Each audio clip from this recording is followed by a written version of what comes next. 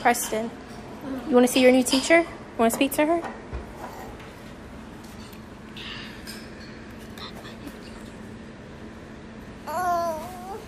What? Your new teacher's on the phone and wanted to say hi to you.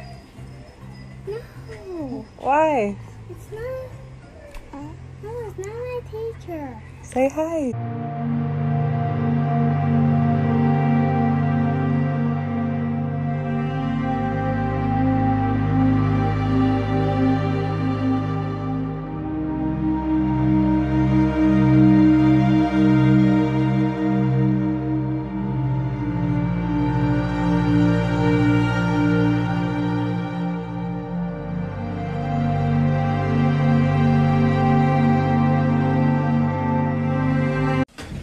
This is a picture of my friend Lizzie.